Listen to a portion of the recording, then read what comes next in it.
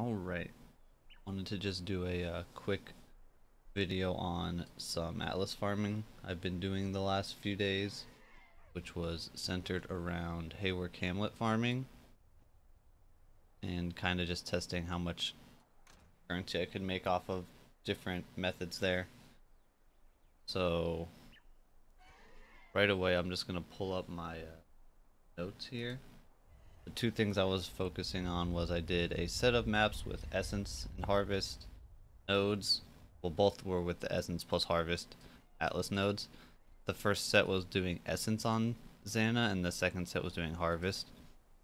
So you can see real quick, uh, the Essence maps, 50 maps, about 2600 chaos, which came out to 53 chaos a map, or about 500 chaos an hour. And this one was, it was pretty quick. You probably don't even need the harvest nodes, but I just had them set up to begin with. You're probably better off if you're going to target for essences going for something like ritual or uh, betrayal as your other nodes. But most of the the currency from that was from bulk sales of the essences, obviously, after uh, finishing all the maps, which some people might prefer that to uh, doing lots of sales while you're mapping. The second set was I kept the essence nodes had the harvest nodes and did harvest on Zana.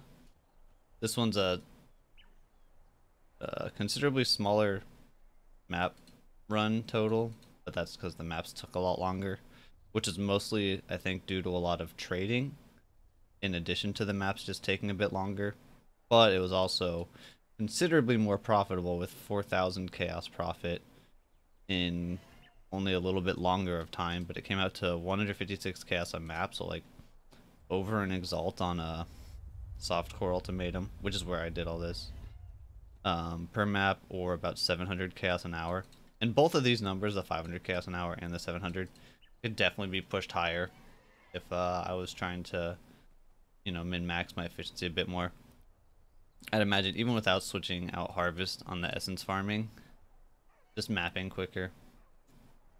Uh, you probably get this one up to close to 700 chaos an hour, maybe. And the harvest, you could probably get close to a thousand chaos an hour if you uh, are being more efficient about mapping, being more efficient about buying and selling. Because the one thing about the harvest farming is there was a good bit of if I craft an item, a base into an item, I sell it right away, buy the new base. So there's a lot of sales and trading while mapping. And the more you can pre-stock up on, the more you could cut down on that type of uh, time. But also for the harvest farming, I did not include any of the harvest crafts that I got that would have potentially been sellable. I got two reforged keep suffixes, I got one random augment, and I got a whole bunch of lucky divine crafts. I only kept seven because my bench can only hold ten total, so it had all of these in it. But I probably got closer to uh, at least 10, maybe even close to 15 Lucky Divines, which I'm assuming should be sellable, at least if you have a big bulk of them. But either way, as you can see, the harvest was very profitable. So let me get into uh, now exactly what we were doing for that. So for both sets, I ran the same stones, which were some harvest stones that I bought. I have two mature stones, which give extra chance to grow higher tier plant. I don't know if that actually stacks. Like if two of them was doing something. If they do stack, there's a decent chance you would want to run four of these. If not, obviously you only want to run one. And then I had one tier one chance to contain T4 plant and one T2 chance to contain T4 plant. The overall cost of these stones is should be somewhere between like 300 to 400 chaos total. So it's not too bad, but there is a little bit of initial investment there.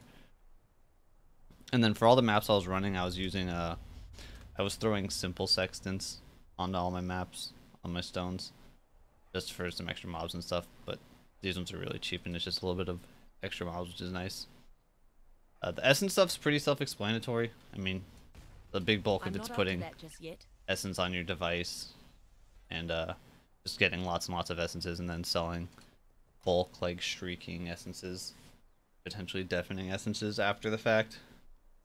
While I was doing the essence farming, I did have the harvest stuff set up. Although I think I only ended up crafting one item in terms of like actual like rares, which are mostly just cluster jewels. I think I only got one. I found uh I believe seven harvests in the 50 maps there. So most of the profit was from the essences and just the normal mapping stuff. However, for the harvest, where I put harvest on every map, we made quite a bit off all of this crafting, and it's might not be what a lot of people think was making the currency because even then the the rares, the jewels being crafted and whatnot, probably accounted for one third at best, maybe like a quarter of the total profit that came specifically from harvest. Most of the profit from harvest came from things like swapping breach stones for other breach stones. So I had a whole bunch of Esh stones that I bought like five or six ahead of time. If they hit Uul-Netol or Chayula, I sell them. Essences, swapping essences. Actually able to buy lots of essence of delirium and insanity. And you can actually shuffle them with harvest and hit horror and Hysteria, which, for example, like if I hit a nine stack of Delirium essences into Hysteria, every one of those nine essences was about 15 chaos gained. So that's 150 or 135 chaos to hit that switch, and those are a pretty common harvest craft. And then things like shuffling fossils, as well as uh, turning bestiary items into lures, turning Harbinger items into beachheads because infused beachhead is worth, I believe, just shy of two exalts. And then the occasional Blister Lord to shuffle influences did pretty well for us. And the gem crafts, if you can get a uh, 40% Faceter's Lens or a 50% faceter's Lens craft, you can use them on a level 3 enhance and get a decent amount of profit out of that as well. So most of the actual profit came from things like that, which are pretty consistent crafts to find. And they don't really require that much in the way of hitting like some big RNG craft or anything like that.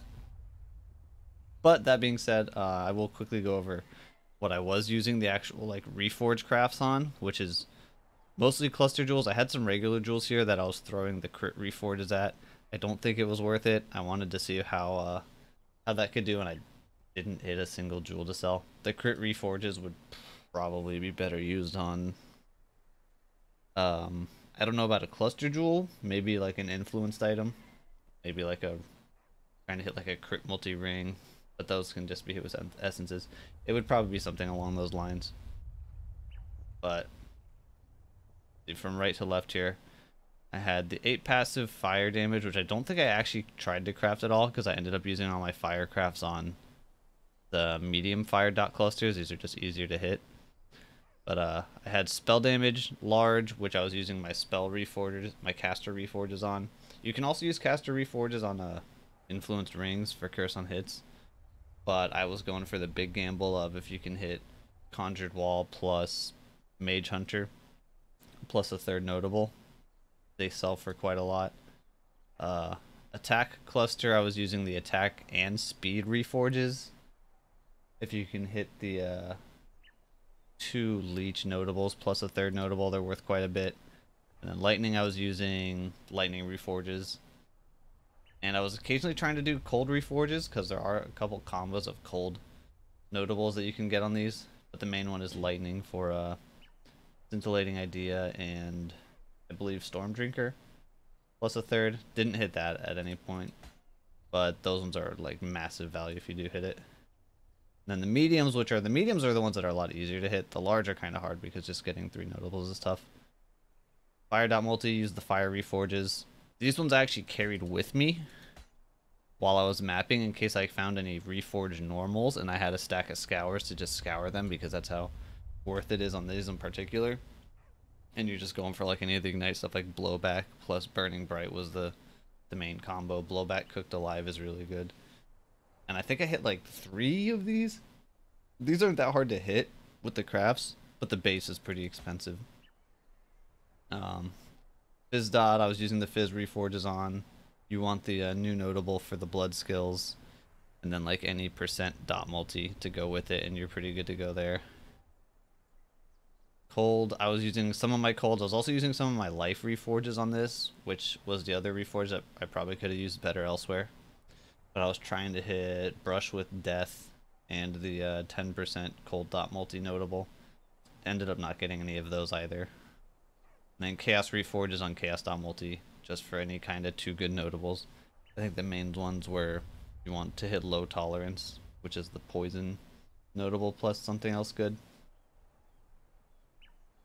And then my defense reforges I was just throwing on random fingerless gloves, which I hit one okay pair. Never even bothered trying to sell it. I don't think it would actually sell for more than like 10 or 15 chaos. Didn't have much luck, luck on those, which was surprising because they're usually not that hard to hit like something that'll get to like 180, 190 ES. So I think that covers pretty much all of the, the stuff I did with the harvests. Didn't get any T4 seeds. Didn't get any targeted augments. But it still is... I mean, I enjoyed the mapping. It's pretty chill. As long as you have like a pre-stocked set of stuff to do the crafts on, and then you just replace things as you use them, it you get into a pretty smooth rhythm. Like I said, this one in particular was like about 700 chaos an hour for me, and I think I could, if I did it again and really pushed it, could get upwards of like a thousand chaos an hour, and that's not counting. Like that's not counting the reforge keep suffixes that I found. It's not counting any of these divines. I ended up using some myself. Not counting this random augment. I don't know what this is worth. The reforged suffixes are about an exalt each, I believe. Yeah, harvest definitely still very profitable which uh, I mean wasn't surprising to me because I knew that those utility type crafts where you can like convert breachstones and stuff were gonna be the big money makers, and they weren't really affected as much by the nerfs.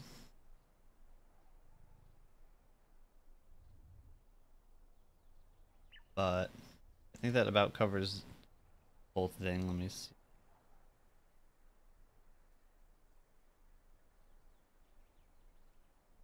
Yeah.